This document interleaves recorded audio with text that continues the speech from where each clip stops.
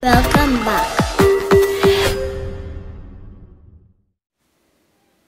Crackers, butter, whipped cream, lemon extract, cream cheese, icing sugar, cinnamon, and our spring pan. A closer view I am not using graham crackers. I am using this tea biscuit and our whipped cream. I'm going to cold it first. Then our cream cheese, as I said, icing sugar, cinnamon, and our pan. Click the bell for new videos. So when I'm melting the butter, I don't melt it all the way through. I leave pieces of butter in it. Also, when I'm doing the crackers, I don't do it too fine, just a little bit of pieces of the crackers in there. Adding the melted butter, partially melted butter, and I'm going to bring everything together and lay in the pan evenly. All of the ingredients with the measurements would be in the description.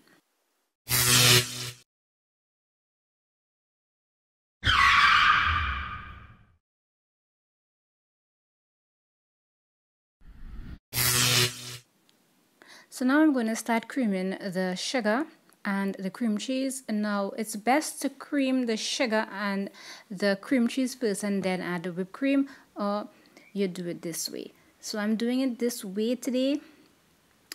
But again, you don't want to, don't want to over mix this batter because then you would have a problem on your hand and we don't want that.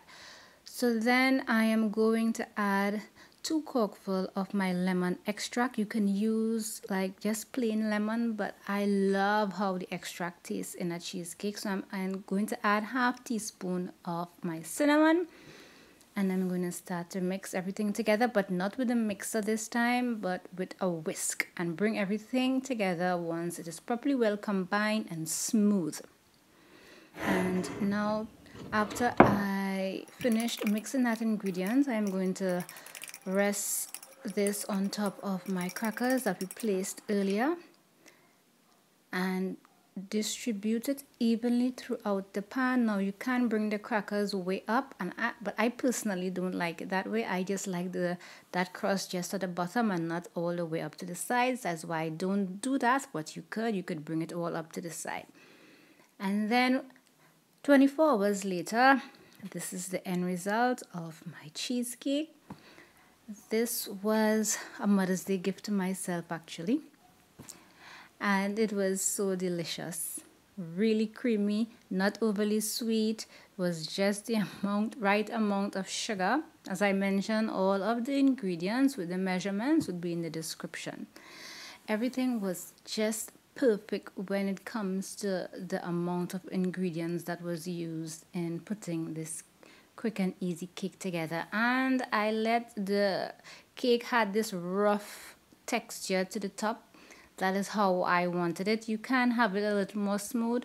Again it's up to you and what you want to do. So I had some chocolate whipped cream and I said why not? Heck I do indulge in, in these types of sweet stuff regularly because I really don't.